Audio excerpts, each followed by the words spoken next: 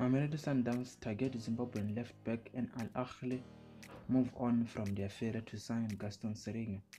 Hello guys, welcome back to my channel and if you are new here, consider subscribing for more latest news on South African football.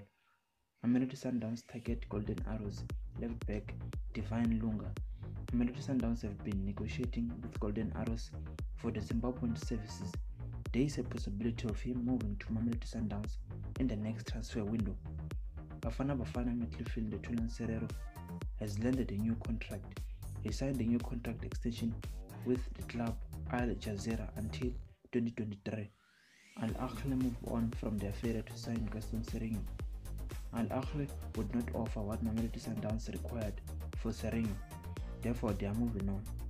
Kaizer Chiefs starlet Lesako is set to see a physiotherapist after he got an injury in the game against TTM in the DSTV Premiership and also Ramahlwe Mphahlele also picked up an injury on that game. Moroka Swallows coach and player Gamildien both received coach and player of the month on the DSTV Premiership Awards respectively. Black Leopards have confirmed parting ways with former Kaizer Chiefs midfielder Dax. Thank you guys for watching. Subscribe if you haven't. Like the video, comment down below and let me know what you think and I'll see you in the next video.